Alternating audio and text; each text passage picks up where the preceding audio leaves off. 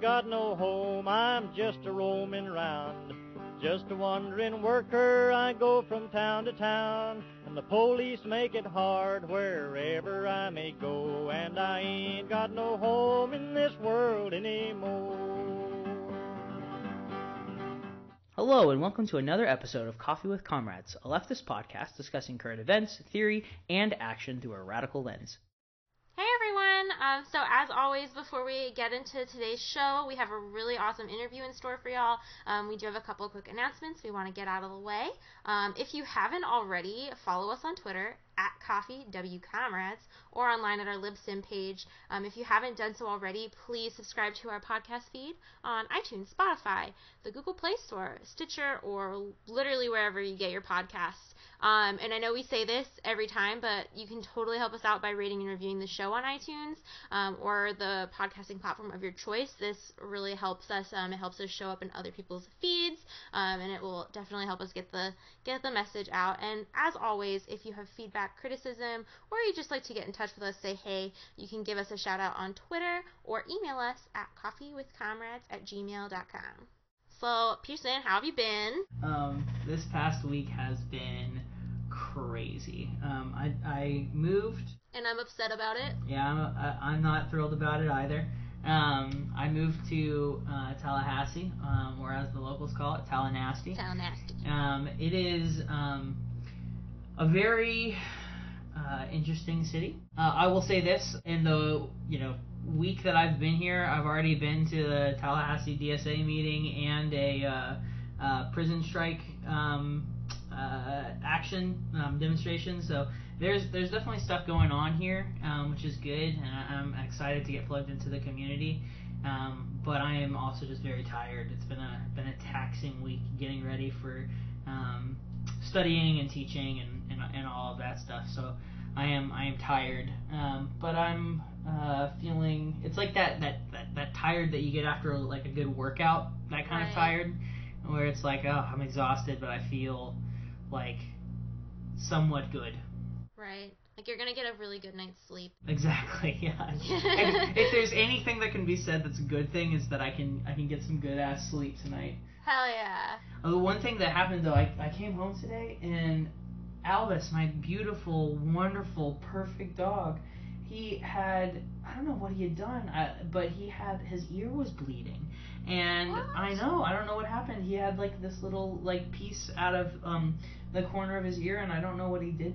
He did. Um, but uh, yeah, he had like the, like it really scared me at first because there's a lot of blood, and I was like, oh my god, oh my god, oh my god. Um, but then I realized it was just like a little tiny like abrasion. Um, Right. So I like cleaned him up, and he's currently looking at me and with his loving puppy eyes because he's a happy little boy. Um, but I was very alarmed when I got home from teaching today. Yeah, no, that's super scary. I'm glad he's okay. Me too. Um, how are you doing? I'm good. I'm really good. Um, you know, I had a really, really uh sort of self care oriented week, which is important. Yeah, that's awesome. Everybody should um should do that. It was uh like at the beginning of the week I felt extremely um sort of drained. I say at the beginning of the week and it's Monday. I don't even know what days are anymore.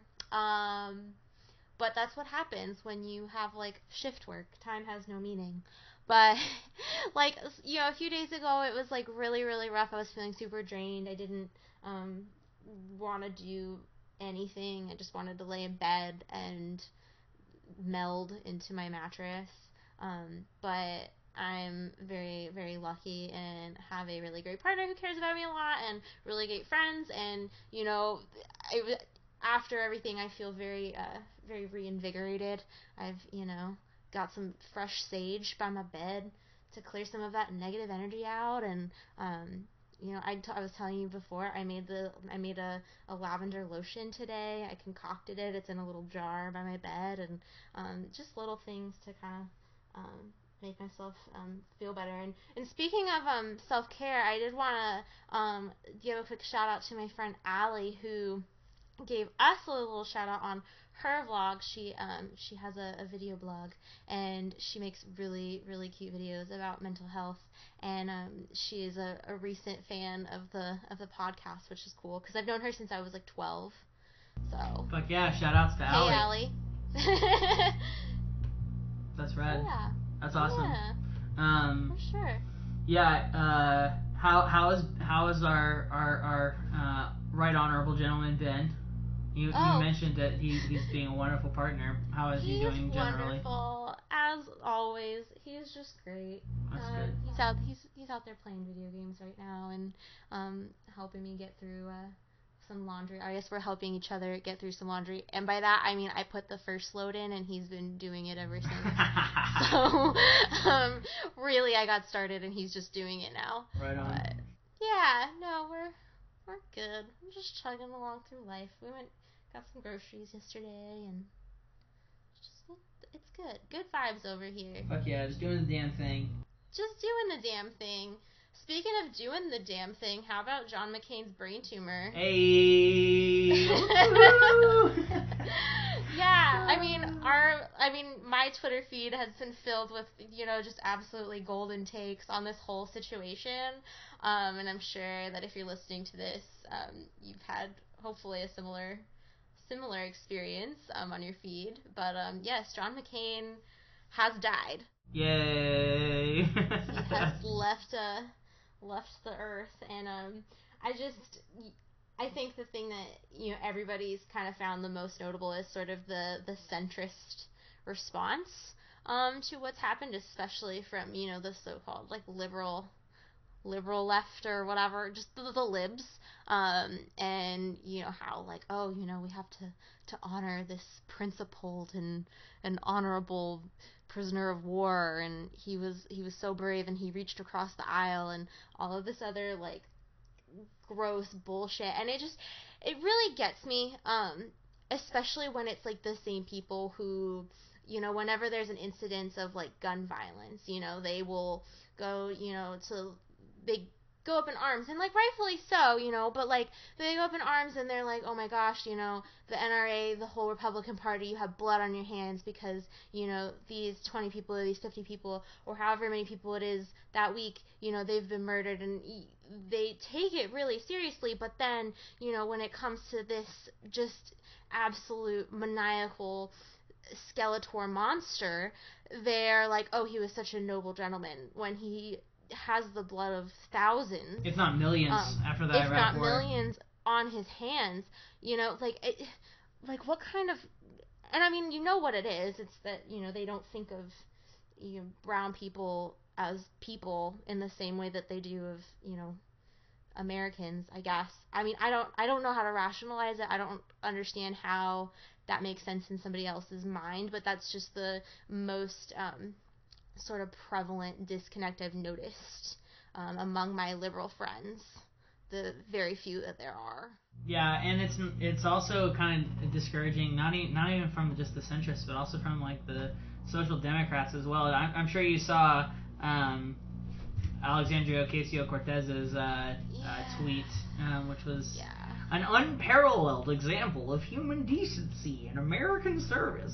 Really unparalleled. Uh, okay, uh, like I just uh, like if that's the most progressive candidate that the left can muster, we're in we're in deep fucking trouble. we're in trouble. And it, it all just goes to show that, you know, th- the Democrats, like, they aren't coming out in such force against Trump because of what he stands for. It's because he doesn't speak nice enough. Yep. You know, like, he doesn't frame it, like, he doesn't have the same professionalism and sort of, like, sanitized language that these other assholes have. You know, like, I don't really see Donald Trump and, and John McCain as being, you know, too different. Yeah, 100%. I I agree with you wholeheartedly. Um, on some good news, though, I, I feel like we should continue the uh, the, the uptick of good news, um, which is a, a, a new one for us.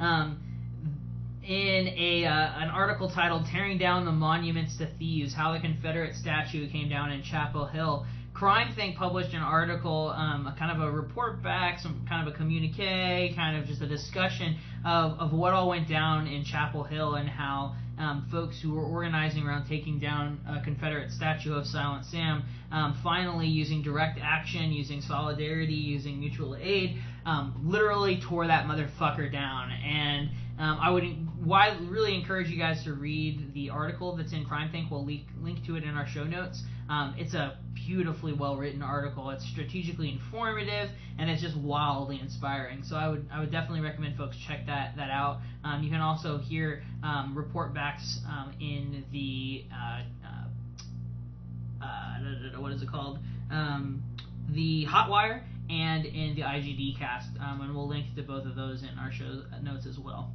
And then in other uh, positive news, uh, the August 21st prison strike has kicked off and the support has been widespread. Um, however, the news, of course, is slow, and especially with the mainstream media, it's all of the reports that are coming out are literally just there's a prison strike going on. Like, did you know? Um, so, which, you know, it makes sense because obviously the information that we have um, coming out of the prisons themselves is very uh, controlled and uh, stemmed. But, I, of course, you know, we extend our ongoing solidarity and support to those folks um, who are partaking in the strike. Um, hell yeah to you. Hell yeah to you indeed. Um, hell yeah. Um, Virginia's first anti-protest law uh, ended up targeting uh, some folks, and and Bree, if you had to venture a guess, who who do you think uh, on the political spectrum, who do you think that they targeted with the, their anti-protest law? Was it? Do you think? Do you think it might be the the white supremacists? Do you think it might be the well, I mean, the fascists? Couldn't be the, it couldn't be those on the left, you know. No. That's just it could that that is that is that is just way too uh, that is a bridge too far. Um, no, in fact, the Virginia's first anti-protest law arrests targeted oil pipeline demonstrators. Um, as the Intercept reports, unsurprisingly, these laws were used to target environmentalists. Um, it's not surprising of anybody who's been paying attention to these um, policies, these these these laws, and, and these um, regulations in the past. Um, this is a, a continued pattern, even as we face down total fucking extinction of the human race. We are still arresting these conscientious environmental leftists who are protesting and trying to stop oil pipelines going through their communities. Um, but nope, if it stands in the way of profit, if it stands in the way of capital, then uh, shit, shit, you're up shit creek. You're getting thrown in the slammer. It's bullshit. It's fucked. God damn it, it makes me fucking mad as hell. Yeah, I, and I especially I think it's hilarious that this comes out of Virginia, which is like deep south, home of you know so much, so many fascist groups. Um, so I think it is ironic. I don't even know if that's the right word because it is exactly what I would expect um, from Virginia and from the South in general. Yeah, for sure. Yeah. Um. So we also definitely want to take a moment today um, to talk about uh, Donna Castleberry. We're recording this. It is Monday, August 27th, um, and this occurred this past Thursday. Um, Donna Castleberry was a 23 year old woman, uh, mother of two, and a sex worker.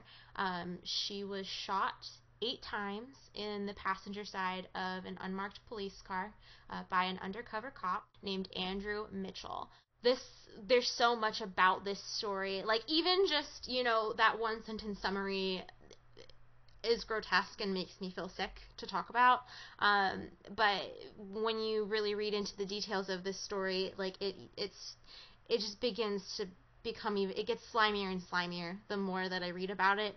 Um, so like I said, she was in the passenger seat of this unmarked police car, this unmarked vice car, um, and the way that the car was parked, and Donna's mother actually uh, spoke out about this, but the way that the car was parked was the car was parked up against a building um, in a way so that the passenger side door could not be opened. Like the wall of the building was just outside the passenger side door so that she could not get out. And um, he's claiming that he shot her in self defense after she stabbed him in the hand. So much to that I can't even begin to unpack with this. Um, you know, obviously he's not going to tell us what really really happened, but I think you know just from a surface level examination of this story, it's pretty clear that a, an assault occurred. Um,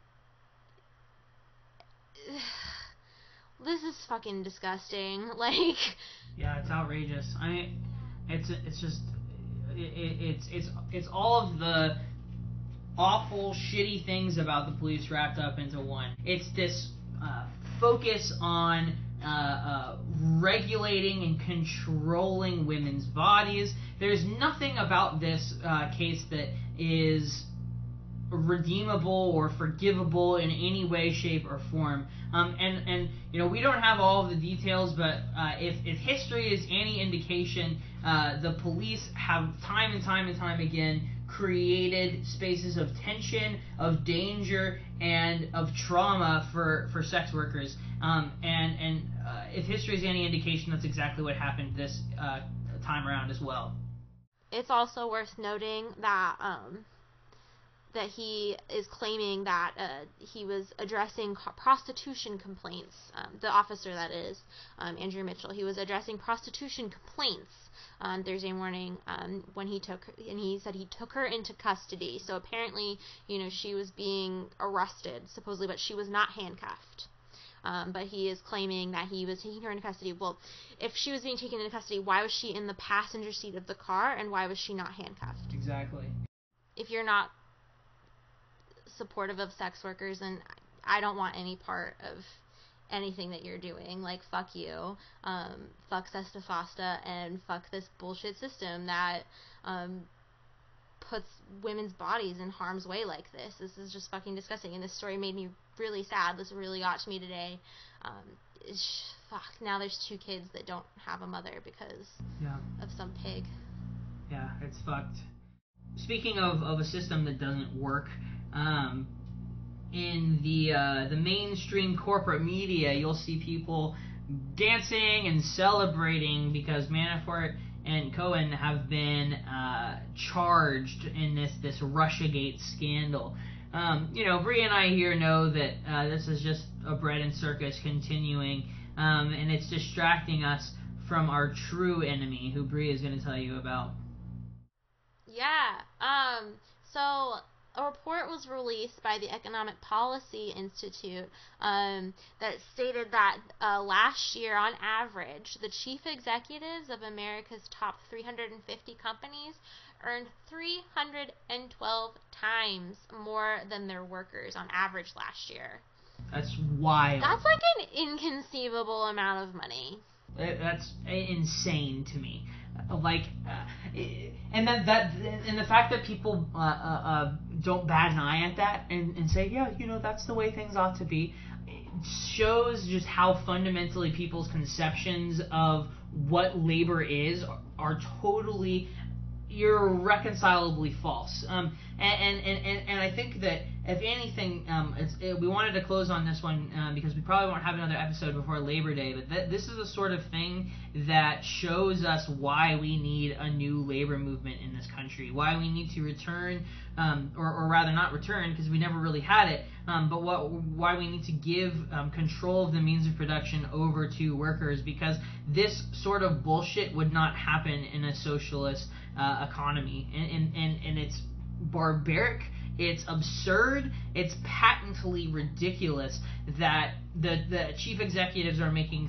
312 times more than their workers. Uh, that's that's unforgivable. It's pretty foul, and I I don't know how anybody can look at that and just not get irrevocably upset about it. Yeah, get like fucking pissed. Like, like for for a fun activity, like take take your income and multiply it by 312 and then think about, you know, the person who is in charge of your workplace. It's bullshit. Um, well, we wanted today to spend some time uh, speaking with our comrades from Occupy ICE TPA.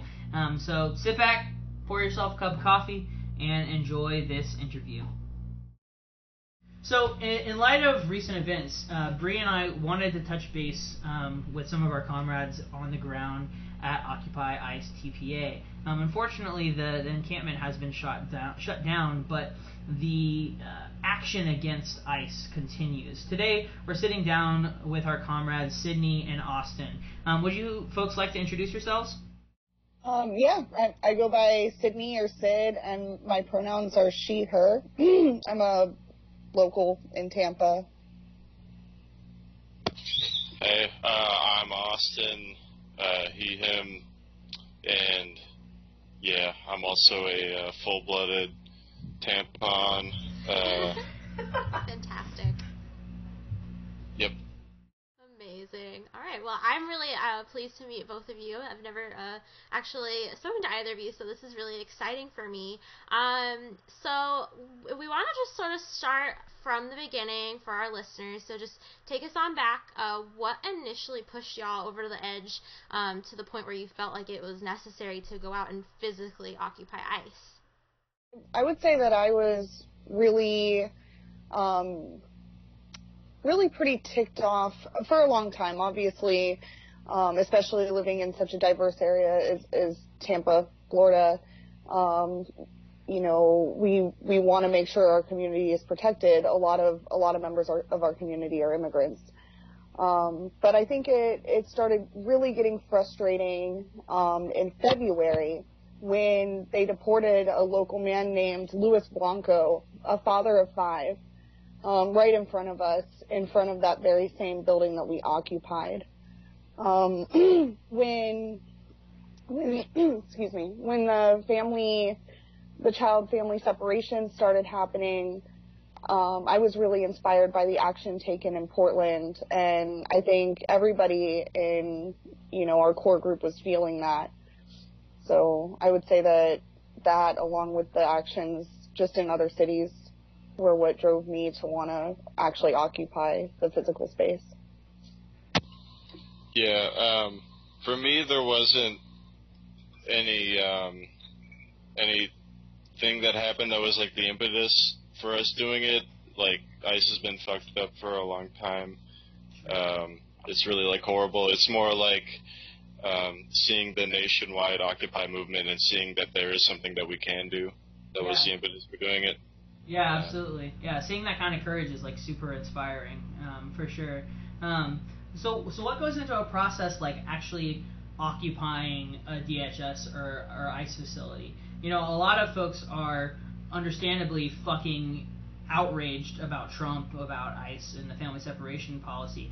Um, but I feel like a lot of times people feel powerless. They feel paralyzed. They feel like they, they can't do anything. Um, and so, first of all, how did you all get organized? Uh, like, can you walk us through some of the steps that you took to prepare uh, in case there are other folks who are interested in taking this sort of direct action?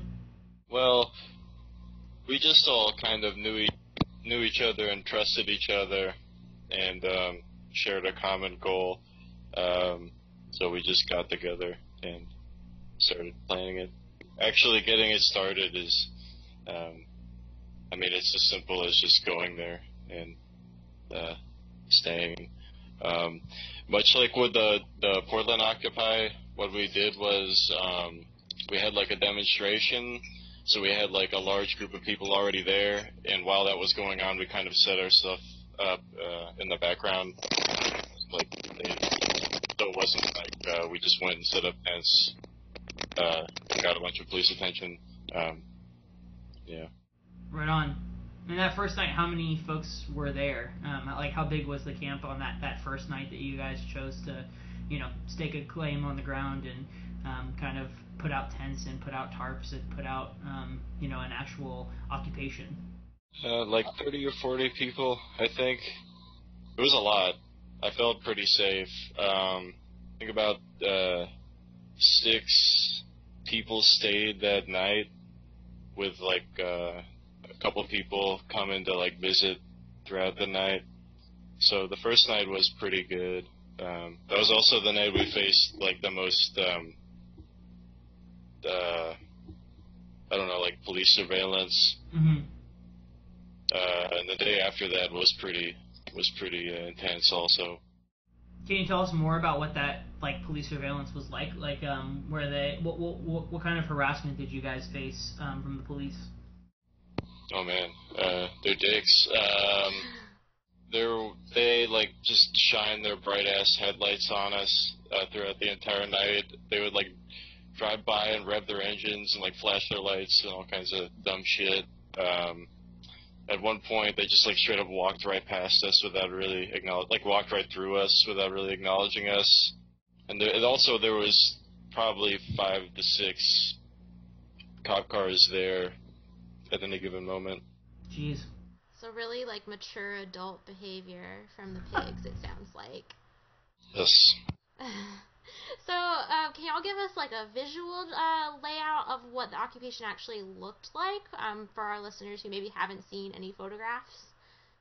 Yeah, we we were actually camped out um, right in front of the sidewalk in front of the building, and within 24 hours we had the entire um, like grassy area in front of the DHS parking lot covered with tents. I think there were you know like 10 tents put up pretty quickly within 24 hours of, of getting there.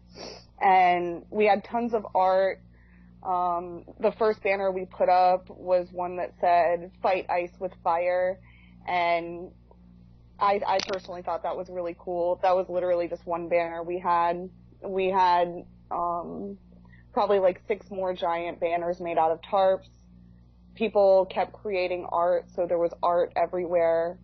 Um, we had three canopies that folks could just come by, hang out under the canopies, um, have a bite to eat. There were snacks and like a little info table with books and um, zines and stuff.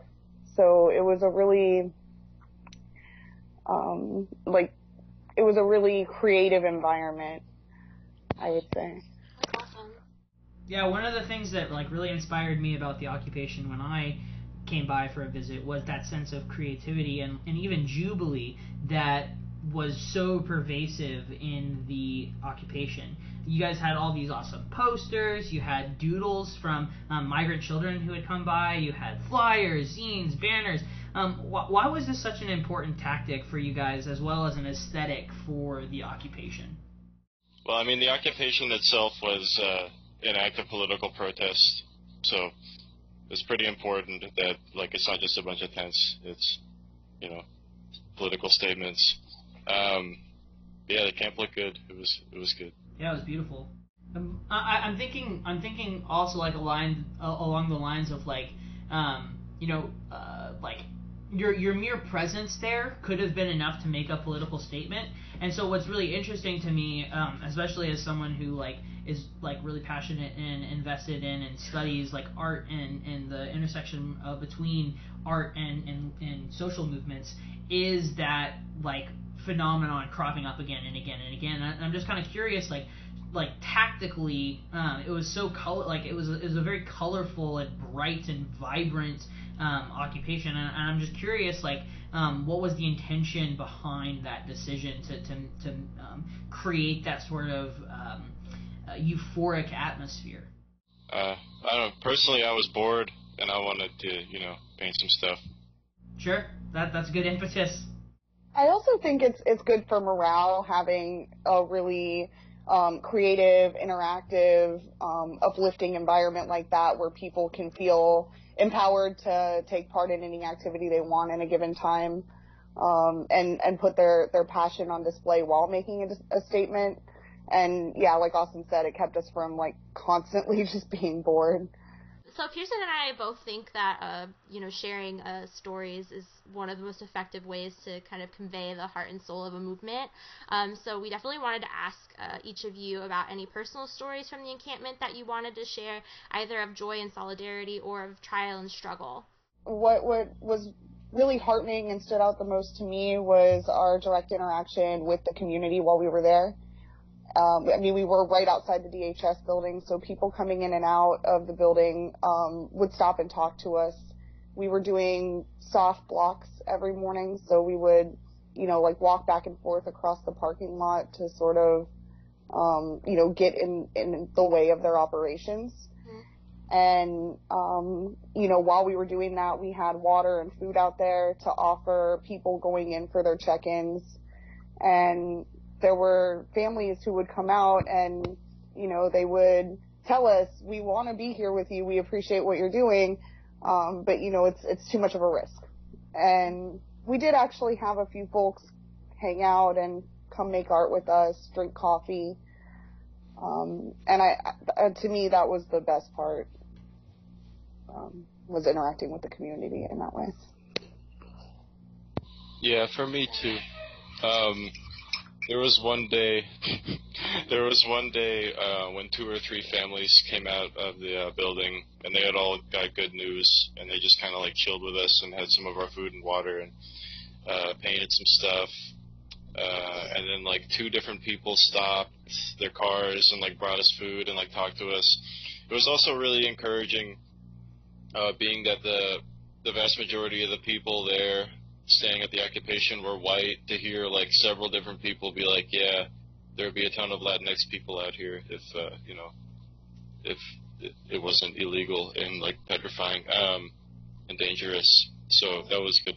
Um, that made me feel a lot better about the situation. Um, also, there was um, there were some fascists just like trolling us, like uh, driving by like really late at the night, like waving their Nazi shit and like honking their horns. And at one time, one night they did a uh, counter demonstration where five of these assholes yeah. like stood across the street holding up their their signs, heckling us uh, about not having jobs and whatever.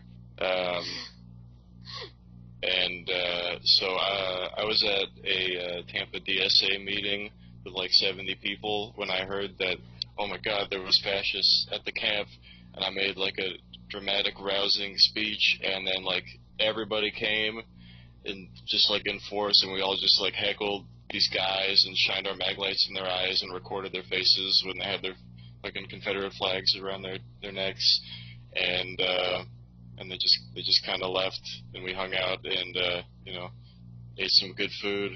Uh, that was that was encouraging yeah, it's moments like that that like really show you what solidarity and mutual aid can look like when people are like actually willing to show the fuck up. Um, that's super cool. Uh, that, I hadn't heard that part of the story. I had heard about them coming and being douchebags, but I hadn't heard that um, Tampa DSA folks rallied to the cause uh, so quickly and mobilized to help help you guys protect and um, defend the camp. That's fucking rad. Yeah, it was it was pretty much everybody. Um, I mean, they didn't stay long, but like still, it was encouraging um, that they all came out. Felt kind of embarrassed to like get everybody so scared, like, oh my god, there's fascists moving on the encampment, and it was just these like these dorks. Yeah. Hey, it's better to be safe than sorry, you know. Ultimately, y'all decided to put your bodies and your personal safety on the line and went into lockdown to block off the entrance to the facility that you'd been occupying for 11 days straight. Um, so, can you either of you walk us through uh, what made you decide to take this next step and how it got to that point? Yeah, I think it was a pretty steady escalation from when we camped out there. Mm-hmm. Um, you know, we started with an occupation with just a few people. Um, it grew from there. We, you know, continued creating art. Somebody did a banner drop, um, I think our second day there. And, you know, we, we continued having demonstrations every day, but, um, we realized that their operations weren't suffering by us being there. Um, and they were continuing to deport people right before our eyes every single day. So we decided that we had to do something to disrupt their operations. Um, we'd been there for 12 days and they were still, they were still fine. So I think that was, I think everyone was sort of feeling like it was time to, to take more direct action. Fuck yeah. Right on. Um, so you guys were physically chained to one another. So what was the you know symbolism or the strategic significance between or behind that particular choice um, of of chaining yourselves to one another? I mean, the the strategic significance was they wouldn't be able to move us. We, you know, we had our necks chained together. If they'd wanted to move us, they would have had to physically lift us up and potentially harm us. Um, so it, it was really just a way of being able to hold the space a lot longer mm-hmm. than if we had just stood there. Oh fuck yeah! Well, that, I mean that's awesome. I mean, uh, to me, it, it, I think it's really inspiring and courageous because it, um, you know, we've I'm sure we've all heard that um, that adage that um, no one's free until we're all free, and it, it puts that into a really material and obvious. Um, you know, symbol when you guys are actually chained to one another. Like you guys are, were there to um, try and disrupt and, and degrade uh, the ability uh, of ICE and of the DHS to continue separating children from their parents and putting them in cages. And so I think that there's a, a, a really clear and, and significant con- connection there um, that I find at least deeply inspiring. Oh, agreed. So, so how did it end? Like, um, how, like what what happened? Um, what, what did the the cops do? How did they treat you? Um, what what what, what all went down? So the the cops you know, sort of left us alone most of the morning. Um, you know, we we sat there for about eight hours. It was around 1:30 when they finally, you know, decided that they were going to round us up. Um, they they acted a little condescending and you know rude. I think they were trying to rile us up a little bit prior to actually arresting us. Um, one thing they said to us that was really frustrating um, was they actually came up to one of the protesters and saw some scars um, on her skin and looked, you know, like pointed that out and said, "Oh, so you used to be a cutter? You know, I'm concerned about your mental health." And she was just sitting there. Yeah, it was fucking disgusting. It was really disgusting. Um, another thing was there were there were two cops just kind of standing on the railing, not really doing anything at all. And they started talking about their vacation plans um, while we're protesting, you know, while we're protesting ICE and, and fighting for freedom of movement. They first told us that we would be arrested if we didn't leave in 15 minutes. Um, of course, we weren't gonna get up and leave, and they did come back promptly after about 15 minutes um, and told us that we would be under arrest. But the whole time they were telling us that, it was this smirking, nasty cop named Rodriguez. Um, and the and every so often he would say to us, um, you know, we're gonna we're gonna cut you out of these things, but we would recommend that you, you know, unlock yourselves, you know, because we can't guarantee your safety if we have to cut those locks off we're going to try and do our best to keep you safe, but we can't guarantee that you'll be safe. So almost like a threat. Right. yeah, and, disgusting. Yeah. And when they actually went to cut off the locks, they put this really cold, uncomfortable, wet towel over our head. I guess it was, you know, supposed to keep us from. What? Yeah, for from feeling sparks from the power tool they hmm. used. Um, I thought it was refreshing. You're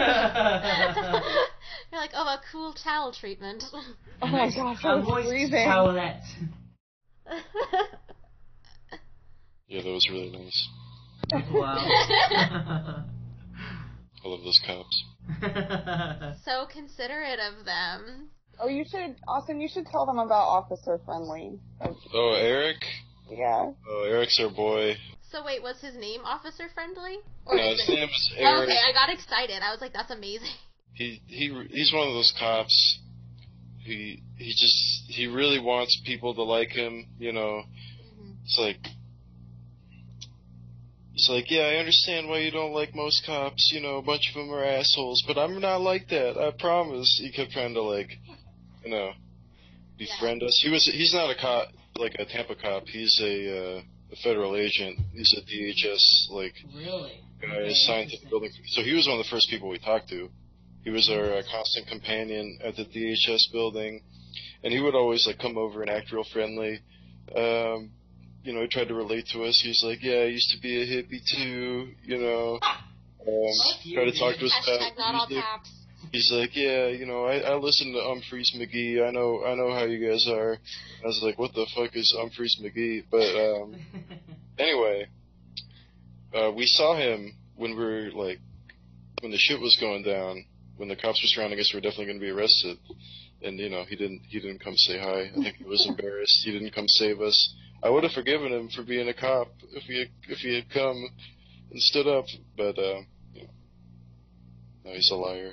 Class traitors to the end. He was like the third cop who tried to tell us that he was in a band and that he liked the same music as we He's did. a rock It was, star. it was really weird. That is Where's the wild. rock star come? Yeah, another another thing the cops did that wasn't as funny as officer friendly um, was they consistently misgendered one of our comrades, Jen.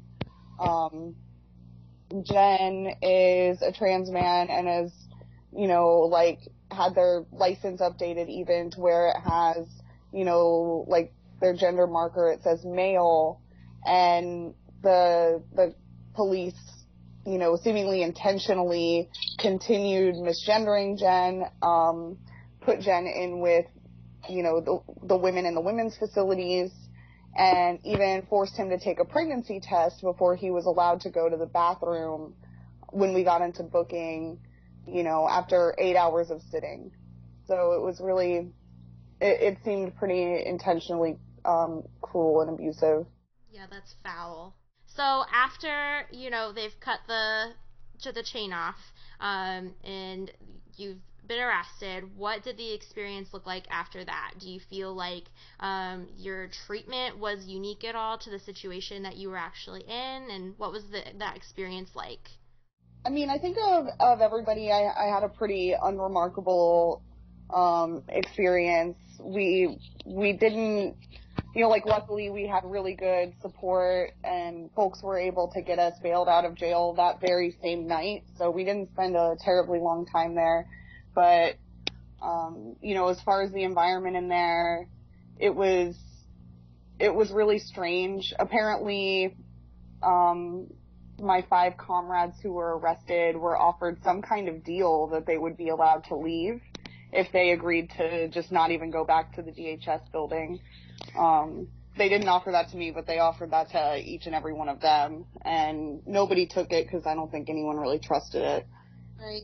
And they that was right when we first got into booking. Why do you think that they did that? Like, why did they not offer it to you but to the others? I think it. I, I honestly don't know. I think it might have had something to do with, you know, like um different like prior arrests or something like that. But Right. but it wasn't gonna apply to everybody. It seemed like, Mhm. Okay. and they wouldn't they wouldn't let us talk about it to decide, you know, collectively if that was something we wanted to do either. Yeah, of course not. What are the what are the charges that are currently pending against you, and how can listeners support you all? So we're looking at two state charges and two federal charges each. Um, one for trespassing, the other for resisting arrest without violence. Um, and those are mirrored from state to federal. So everybody has four misdemeanor charges um, Yeah, it's from this one arrest.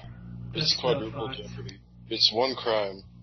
Mm, It's not even a crime if you think about it. Yeah, but yeah, I mean, yeah, of course, but the crime is trespassing, which is not. legal. they told us to leave. That's not resisting arrest. Like, you know, Yeah, yeah. it's no. not resisting arrest to trespass.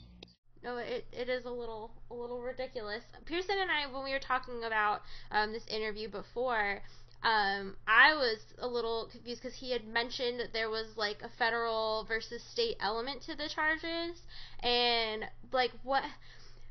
I'm confused. Like, how are they getting you on like state and federal? Like, that doesn't make a ton of sense to me. I don't know if you're able to shed some light on what makes that distinction and why there's both, because it does seem like it's like double charging for one thing. Well, I'm not a lawyer, um, but it is private property in the city of Tampa that is leased to the federal government. So I guess Tampa cops have jurisdiction there because they were invited there by the landlord, the poor victim of our uh, our horrible criminal assault. Your economic terrorism. Actually, Um, he called them out there and uh, you know was pissed. But there were federal agents posted out there. Um, there was this dude who looked like Wilford Brimley. He really did not like us. Um, he's the one who like officially cited us. So yeah, I guess they both have jurisdiction. I mean, the feds can give you a citation wherever the fuck they want. Yeah, it's true. Gotcha. I guess the short answer is the cops can do whatever they want. Mayor did say that um, that might have been like a little bit of double jeopardy, and it's possible that you know some of the charges will be dropped, hopefully. But but it looks like right now we're being brought on all four of them, and um, you know we don't we don't plan on taking any kind of plea deal or anything. We're gonna fight them. Fuck yeah. Like it almost sounds like they're just like throwing all of the spaghetti against the wall and seeing what sticks. Yeah, and it's very ironic because, as Syd mentioned, they were willing to let all of us, except for Syd, just go without even like having a charge on our record or anything. Just go as soon as we got into jail, as long as we agreed, you know, to sign a bunch of shit saying we wouldn't go back to the property, which I'm sure was at the behest Right. of Mr. Prather. The property owner. Now they're going forward with all the charges, which is, is uh, very hypocritical. They care about justice when before they were like, willing to wipe it away. Yeah, they don't care about justice. They care about revenge. One other kind of um, despicable, you know, way that they treated our comrade Tori, I sort of wanted to talk about because um, they there there was a there was a guard there who was severely mistreating people and and actually I saw the same guard accost somebody else right before they went to Tori. But they they basically ripped her piercing out of her face. She had a a bridge um right above her nose and that had to be removed with a special tool that they refused to use so they ripped it out you know Tori had blood and and it was really painful. And even after they they did that, that very same guard came to her and said, um, and started harassing her, started trying to get her sort of riled up. You know, you know, saying to Tori, "Oh, I don't." You know, I we didn't need a, a special tool. I told you we'd be able to get it out of your face. Um, you know, just trying to like rile her up. And Tori responded like any human being would by by saying, yeah, you don't need any special tools if you're just gonna yank my piercing out.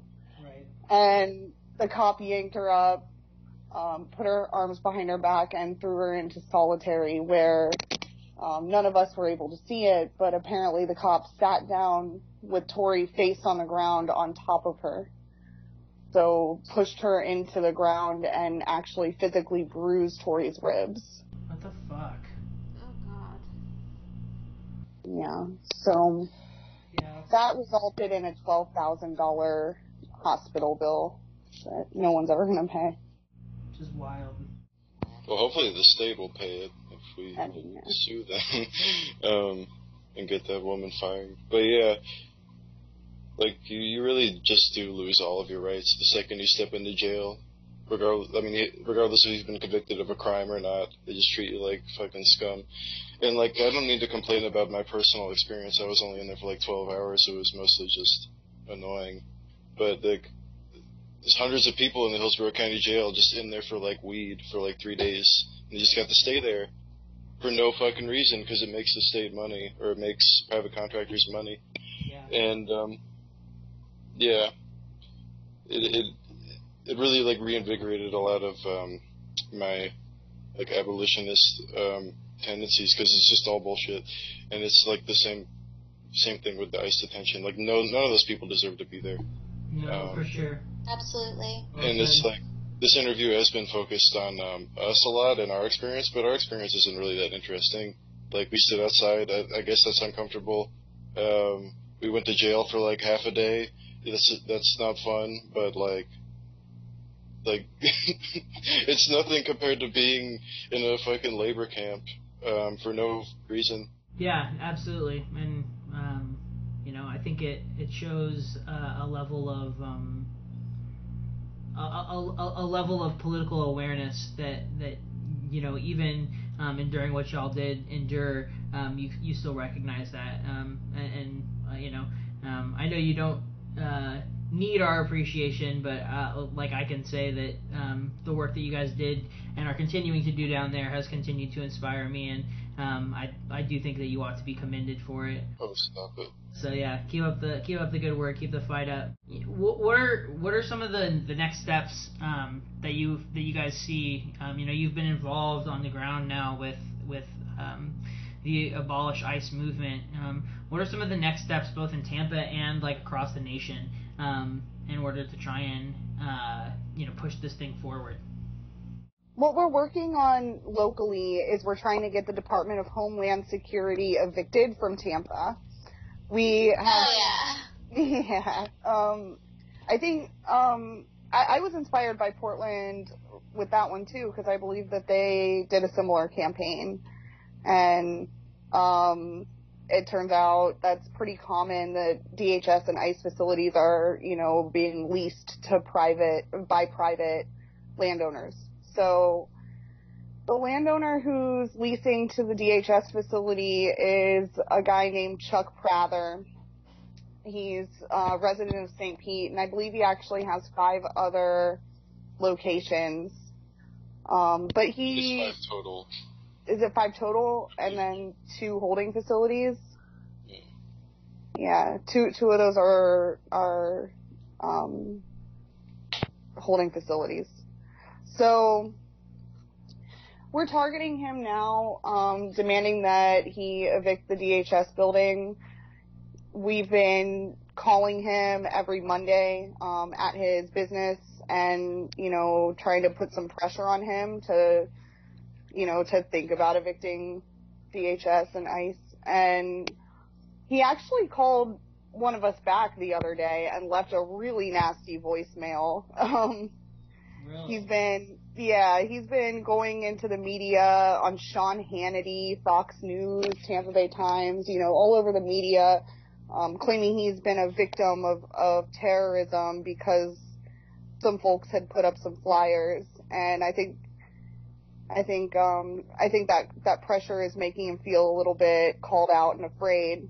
But we've continued calling every Monday and this past, you know, call-in day that we did, um, he he called one of us back and left a nasty voicemail where he called us um, moronic, Moronic idiot, idiot. assholes. This is moronic idiot asshole. Um, and he went on to say that he has no patience for people like us. So that's that was pretty. He seems a little flustered. He also Oh. claims like ignorance about what the DHS is doing in the building. Like wow. so he's had this lease for like 20 years, and he's just like, "Well, I just give it to the government. It's not my business who the government tortures in there. Uh, it's not my pro- it's not my problem." But um, I mean, the building was specifically built with like holding cells and you know things like that, and it explicitly says like Department of Homeland Security on the lease, and he's renewed it every single year. You know. And Right. and he's he's openly on his website talked about how they were trying to make that facility look like all the other office buildings so it would fit in in the office park that it exists in. So he's in he's actually quoted in media recognizing that that's a DHS building. His his feigning ignorance is is just a I guess to appeal to the masses and, the media. Um, another thing is he he really is trying to make himself out to be a victim, um, and obviously that's just preposterous. This is somebody who profits off of human suffering. Um, he wants to say that he's afraid people will think he's a sexual predator because we are talking about the sexual violence that his, you know, that he's facilitating by continuing um, to accommodate DHS and we can cite that. Um, Blanco, um, the guy who was deported from Tampa in February, was deported to Krome Detention Center, which has record high human rights abuses, and ICE as a whole has had 2,000 reports of sexual violence in the last two years.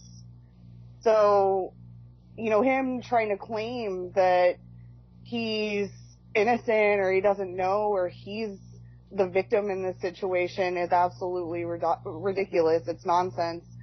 Um, he's profiting from from caging children and benefiting from the violence and atrocities committed against people in this community.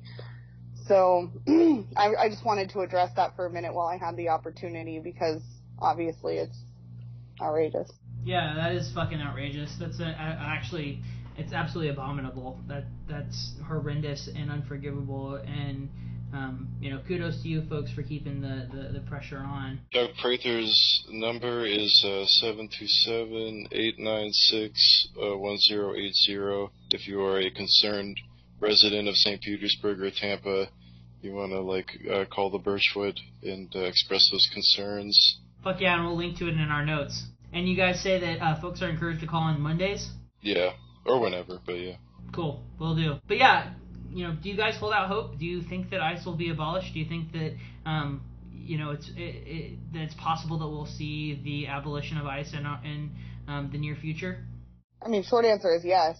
I, I have to believe that, and I I do think that this is a really popular movement that has a clear demand abolish ICE, um, and it looks like it looks like people are taking actionable steps to get there by tar- by targeting like we're doing with Chuck Prather, um, by targeting the profiteers like Geo Group, CoreCivic, um, the folks who are benefiting and, and profiting from for-profit prisons.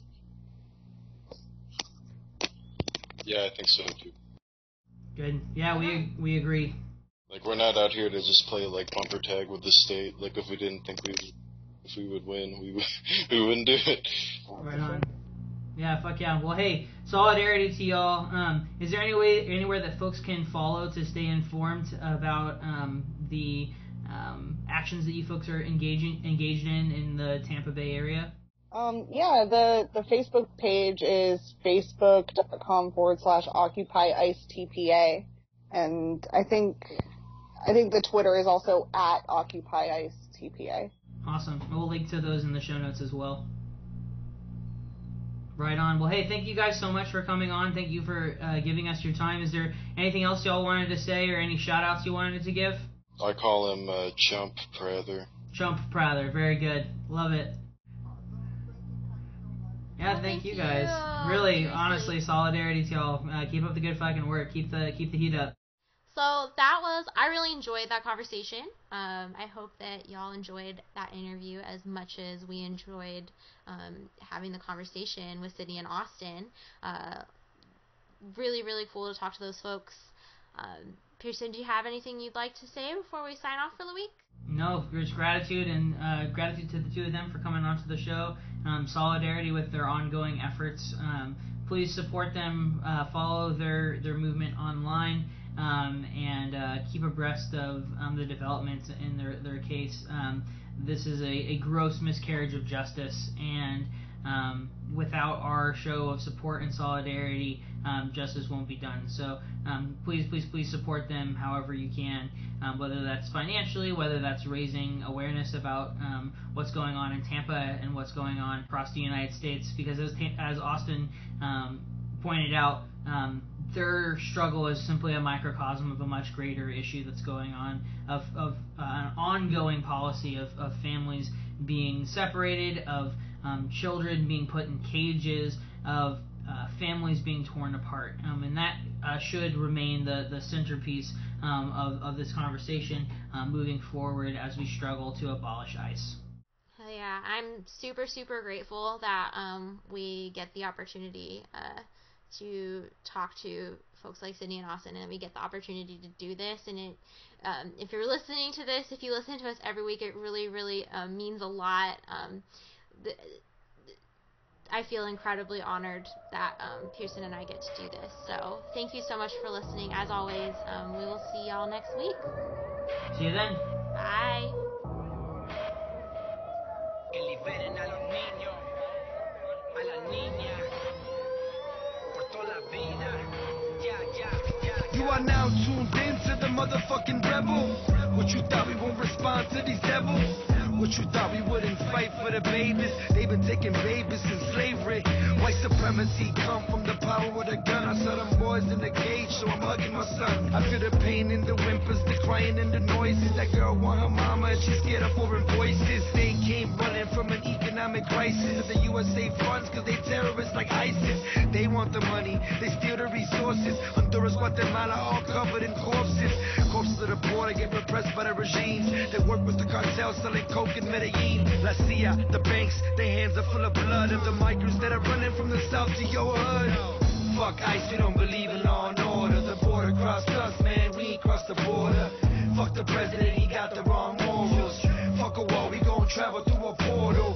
Fuck ICE, we don't believe in law and order. The border crossed us, man, we crossed the border. Fuck the president, he got the wrong morals.